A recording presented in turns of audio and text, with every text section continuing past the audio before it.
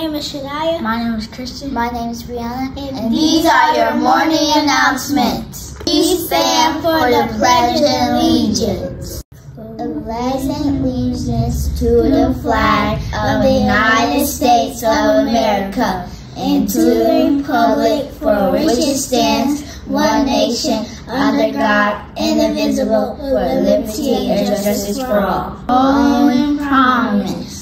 I give all adults and all children respect. I try my hardest to be a good person.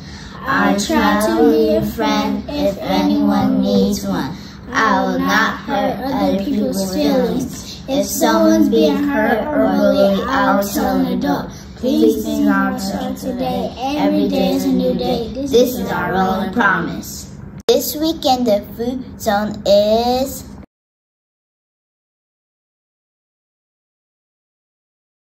Here's a look at this week's weather. Upper 50s, right around 60 to kick off your Friday morning. We do a jump tomorrow for our temperatures, mid 80s through the afternoon, and a couple degrees more even on Saturday. Now, again, with that, we're picking up our humidity as that moisture starts to creep in.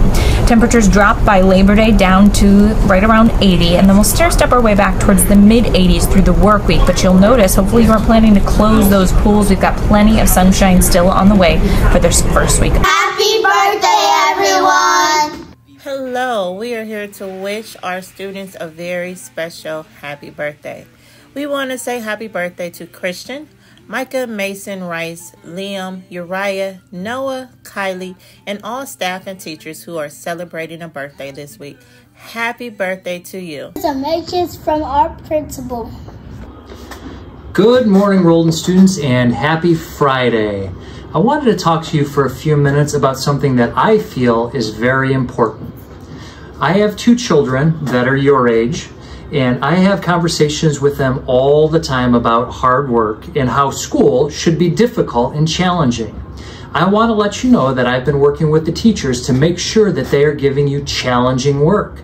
What that means is that you need to work hard in solving the problem and you cannot give up.